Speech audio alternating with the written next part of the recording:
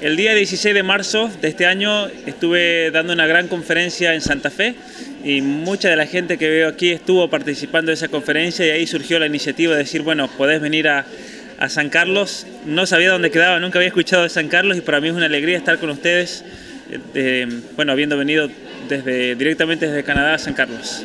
¿Qué tiene de particular este libro? ¿Cuál es su título y qué desarrolla específicamente? Este es un libro bastante original en la temática porque no había libro que todavía juntase todas las investigaciones científicas con respecto a todo lo relacionado a la conducta sexual de la persona, a todo lo que es la historia de, lo que se llama la ideología de género y demás.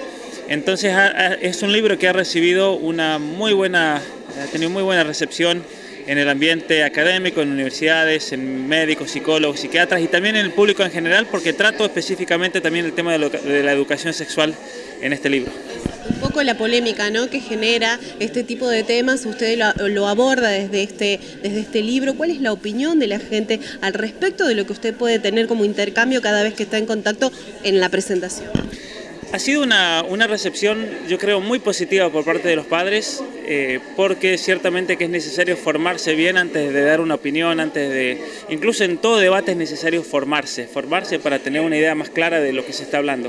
He tenido una, recepción muy positiva en todas las provincias, eh, ya he estado en 16 provincias en todo el país, y en todos los lugares donde he ido eh, la gente ha sido, bueno, me ha recibido muy bien, estoy muy agradecido, una recepción enorme, una gran cariño de la gente y aquí también, bueno, ya lo he experimentado. Llegué hoy y ya he experimentado el cariño de la gente, la, acogida, la hospitalidad. Eh, es algo muy hermoso. ¿Qué le deja este libro, digamos, a, la gente, al, que lo lea, al lector? Especialmente dependiendo de la profesión y del lugar de cada uno, pero eh, a todo psicólogo, médico, psiquiatra le va a ofrecer elementos para poder ayudar a sus, a sus pacientes, a toda maestra de escuela le va a dar elementos para realmente encarar toda la cuestión de la educación sexual de una perspectiva más objetiva, científica y demás, con fundamentos. Y para todo padre también le va a dar una visión, un pantallazo de qué se trata entonces cuando hablamos de educación sexual, de qué se trata cuando hablamos de ideología de género y demás. ¿Por qué cree usted, para finalizar, que hay tanta resistencia ¿no? en algunos sectores educativos también eh, en relación a abordar estos temas?